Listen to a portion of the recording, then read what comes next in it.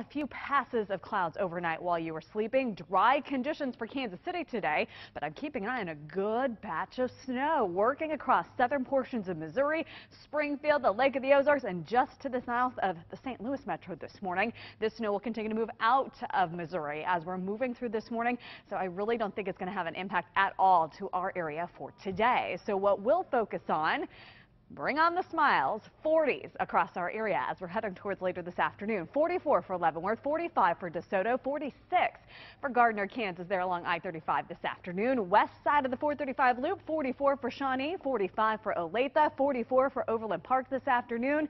Liberty checking in right around 42 degrees for today. 44 for Independence, 44 for Blue Springs, and Lee's Summit there along 470 with 45 degrees by later this afternoon. And bring it on. What are you going to do with your weekend? Hopefully enjoy a little bit of time outside.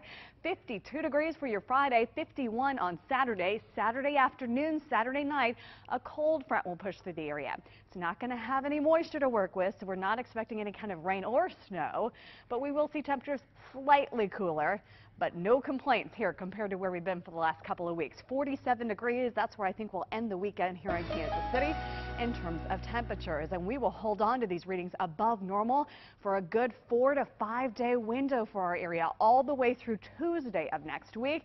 Early indications as we're heading towards middle of next week, we'll begin to see those numbers back to normal territory into the 30s again.